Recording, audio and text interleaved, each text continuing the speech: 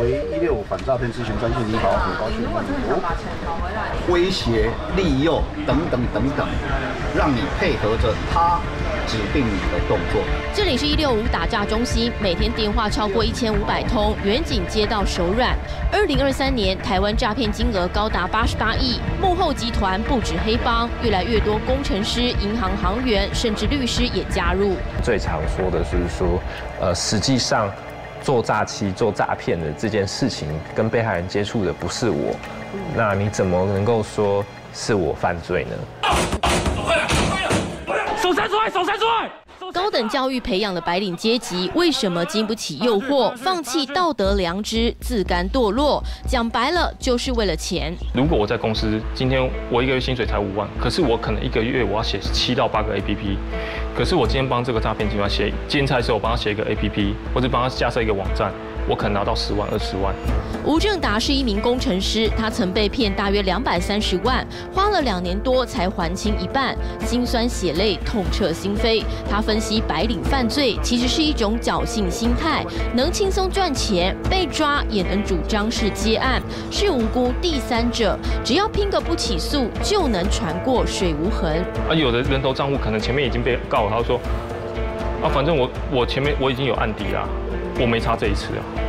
你看这整个社会变得多么夸张，就是很多的年轻人哦，这些人都二十几岁耶。”二零二三年有两家银行行员提高人头户约定转账金额，帮诈骗集团洗钱，每汇出一笔就有百分之一的回馈金。另外，工程师帮诈骗集团架网站，一次能拿七万；租借网域每个月租金收十万。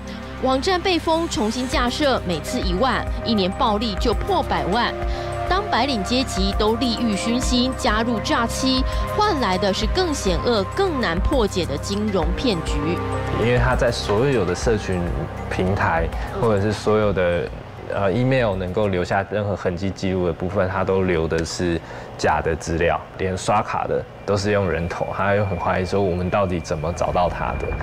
诈骗已成台湾日常，就连律师也不讲伦理道德，趁阅卷时泄密，回报诈骗上游，或者直接听从指挥，成为犯罪的一份子。